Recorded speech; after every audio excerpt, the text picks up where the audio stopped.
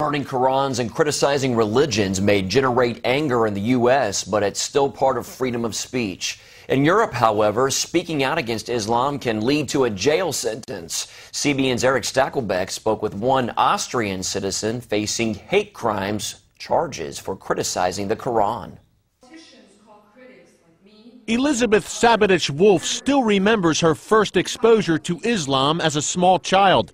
It was 1979, and her father, an Austrian diplomat, was stationed in Tehran during the Iranian Revolution. Millions of people congregating and screaming Allahu Akbar.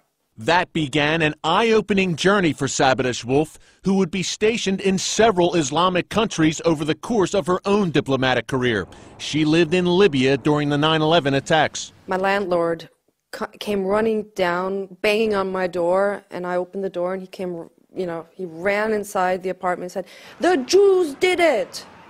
So that was the first the first word he said. Experiences like that led her to study the Quran and Islamic culture extensively. I've read the Quran, I studied the books from both sides, the pro and the con, and I can tell you from what I've studied, Islam is a political ideology disguised as a religion. Back in Austria, Sabaditsch-Wolff lectured on the subject, and her comments on the Quran outraged a writer for a left wing Austrian magazine. She took it to her editor, and they did, apparently then decided uh, they would take it to the uh, they would you know take it to the lawyer and take it to the public prosecutor's office. The Vienna prosecutor charged her with hate speech against Islam. She told CBN News she merely quoted directly from the Quran. I quoted the Quran. I told them even, you know, in the in the lecture which Quran I used, which quote. Some of them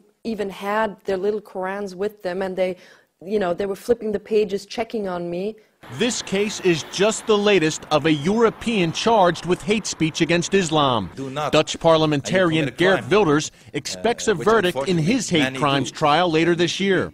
In addition to Austria and the Netherlands, hate speech charges have also been filed in Great Britain, Sweden, France, Denmark, Belgium, and Finland, all against critics of Islam. Sabaditsch-Wolff's case is still under review in Austria.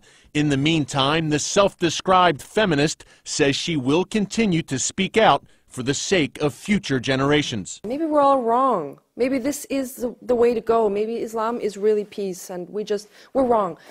I look at my daughter and I think, no, you have the right to live as you would like to live. Eric Stakelbeck, CBN News, Vienna, Austria.